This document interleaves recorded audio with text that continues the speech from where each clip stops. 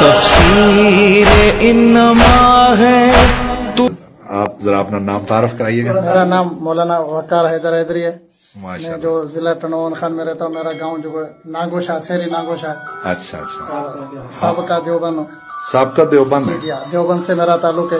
حافظ قرآن۔ حافظ قرآن ہے۔ کیسے کنورٹ ہوئے؟ ماشاء اللہ کیا میں ادھر پڑھاتا تھا جو ادھر جتوئی کی مسجد تھی۔ جی۔ وہاں پہ پڑھا تھا وہاں برابر میں میرے دوست تھے وہ شیعہ مذہب سے تعلق رکھتے تھے۔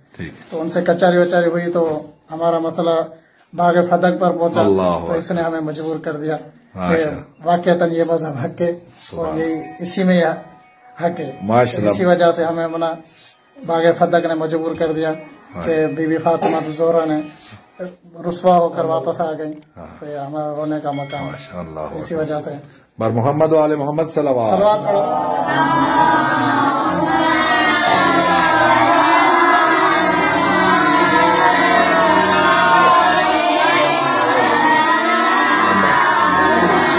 شاباش شاباش شاباش ماشاء اللہ ادھر آنے کے بعد آنے یہاں آنے کے بعد کوئی مشکلات کوئی مسائل؟ ہاں، یہاں آنے کے بعد ہمارے گاؤں والے جو ہیں پانچ سو گھروں پر مشتمل ہے ہاں۔ گاؤں والوں نے ہمیں نکال دیا ہے۔ اب ہم کرائے پہ بیٹھے ہوئے ہیں۔ ہمارا سات ہزار روپے کرایہ وہ بھی اللہ دے رہا ہے مجبور ہے تقریباً اور یہاں ابھی آگے پڑھاتے جی ہیں۔ جی ہاں ابھی یہاں ٹیوشن پڑھاتے ہیں۔ مطمئن آپ؟ جی جی ہاں بالکل۔ جزاک ya